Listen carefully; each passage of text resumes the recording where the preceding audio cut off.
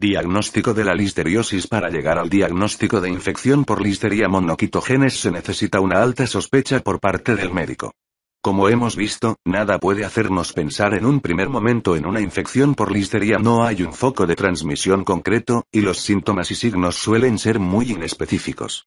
Solo hay un dato que debe colocar a la listeria en una opción probable los estados de inmunosupresión.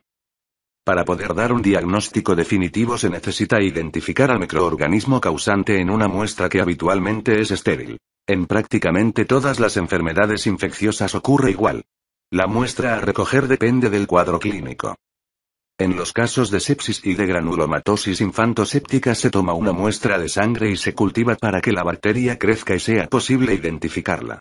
La analítica general de sangre mostrará niveles altos de leucocitos, pero no en todos los casos, ya que es precisamente el déficit de inmunidad celular lo que impide la infección. Los niveles de sustancias reactivas inflamatorias, como la PCR, sí estarán elevados. En los casos de meningitis la muestra a tomar será el líquido cefalorraquide o mediante una punción lumbar.